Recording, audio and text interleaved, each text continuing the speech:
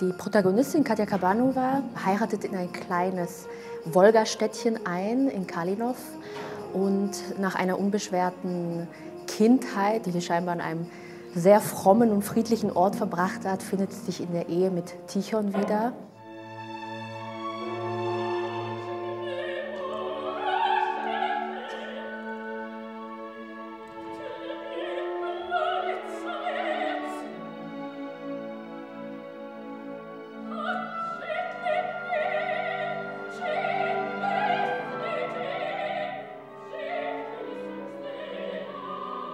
Also es ist eine unglückliche Ehe, eine kinderlose Ehe, wird äh, dazu noch von Kabanicha, der Schwiegermutter, tyrannisiert. Und Kabanicha, die steht für die alten Werte, für Tradition, ja, ähm, in, dieser, in dieser im Umbruch befindenden Gesellschaft.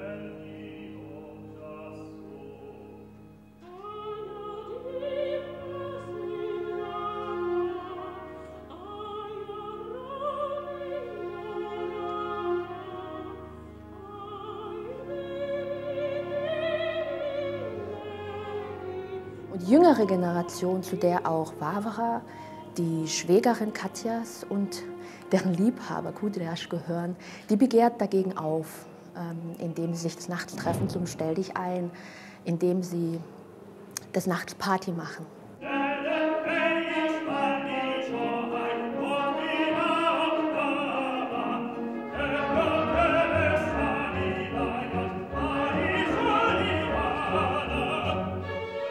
Und äh, während Tichon auf Dienstreise ist, erlebt Katja eine erotische, ein erotisches Abenteuer mit Boris, ähm, einem Zugezogenen aus Moskau.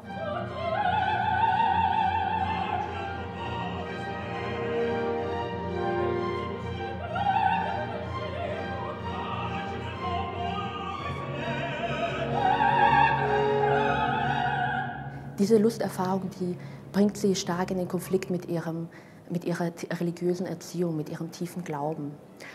Doch während dem Stück muss sie feststellen, dass eigentlich alle in dieser Gemeinschaft, alle in diesem Dorf heimlich ihren Begierden und ihren Trieben frönen.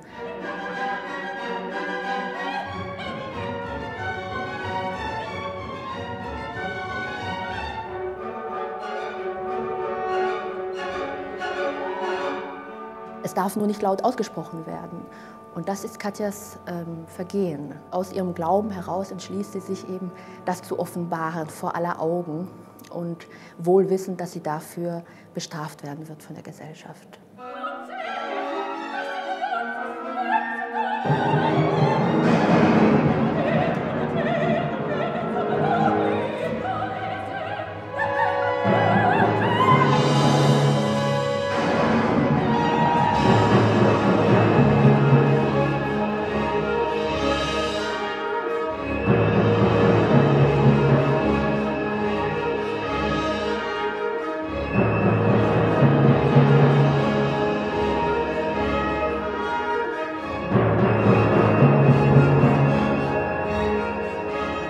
Ist eine feministische, Perspektive, in der wir versuchen, eben diese, ähm, die Unterdrückung der äh, weiblichen Lust sozusagen end zu entpathologisieren.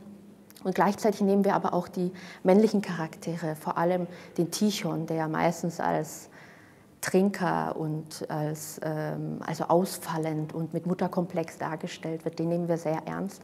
In unserer Figurenanlage ist er ein homosexueller Mann, der sich in dieser Gesellschaft in Kalinov eben auch total verbiegen muss, um existieren zu können, der seine Liebe und seine Libido, Libido nicht frei erleben kann.